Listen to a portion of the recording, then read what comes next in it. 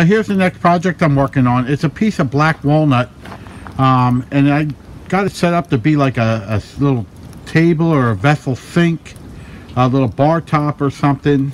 It has a spot here that could be cut out to put a sink in or it could just be filled or left the way it is.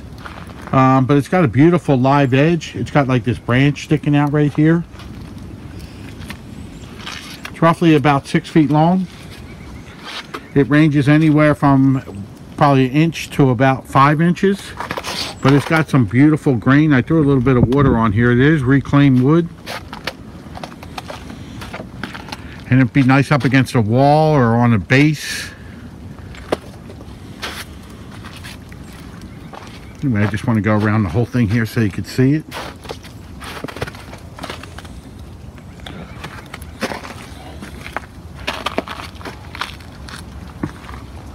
Anyway, this is the raw piece and love to work with you on the project. If this is something you like to work with, let us know. We'd love to work with you on it.